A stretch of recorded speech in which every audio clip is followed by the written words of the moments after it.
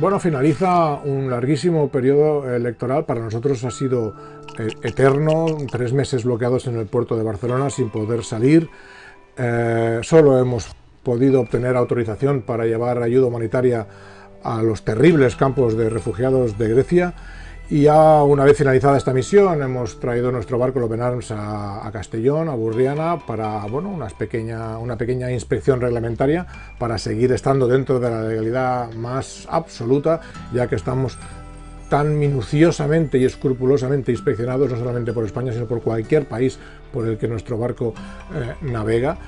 Eh, bueno, ¿qué, podemos, qué podemos mm, decir? Pues eh, resumiremos que esta última legislatura europea se esconde detrás del sacrificio de más de 15.000 vidas, que eso es lo que se ha cobrado el Mediterráneo en estos últimos cuatro años. Terrible, es, es, es vergonzoso. Eh, por la parte que a nosotros nos corresponde, eh, cabe, cabe decir que, bueno, que hemos estado bloqueados por un miedo, por un miedo de una ola terrible, una ola de extrema derecha que iba a sacudir no solamente España, sino toda Europa, y eso vaticinaban muchísimos medios que han estado alimentando durante todas estas semanas eh, las noticias. Y con el resultado final, pues bueno, de que ha aumentado un 2,5% el porcentaje de parlamentarios de extrema derecha eh, en Europa. ¿no? Sí, es un poco preocupante, pero la verdad influirá en muy poco, eh, no van a influir, no van a tener mucho, mucha influencia. Pero bueno, ¿qué, han ocasionado? Pues han ocasionado el sacrificio de más de 500 vidas en estos cinco meses de enero. ¿no?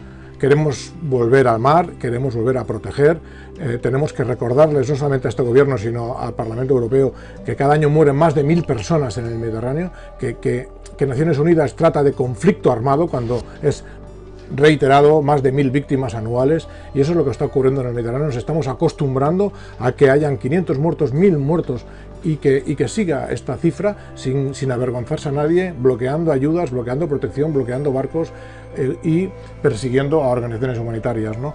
Queremos volver a salir y eso es lo que pedimos, volver a estar donde realmente se nos necesita y es en el medio del mar para defender y proteger los derechos humanos.